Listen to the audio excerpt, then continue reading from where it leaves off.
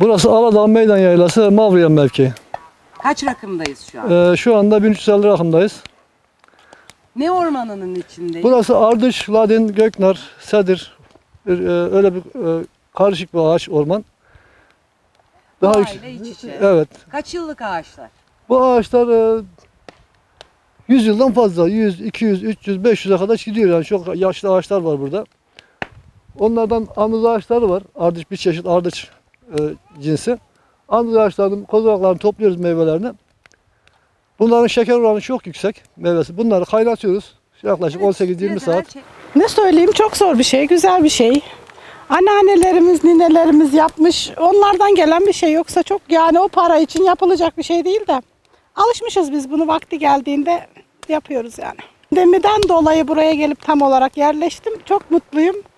Yani tam olarak doğanın içinde yaşıyoruz her türlü güzelliğini. Şimdi bu salladığımız ağacın üzerinde diğer senenin meyvesi de var. Ham meyve de başında. Seneye bu ayda toplayacağız o ham meyveyi. Bir e, olgunluğa ulaşmak için 18 ayda mı yetişiyor? 8 ay. Şu anda salladığımız olgunlaşmış hamur. Başında kalanlar seneye. Bu pekmez hali. Evet pekmezimizin olmuş hali. Yüzde yüz doğal.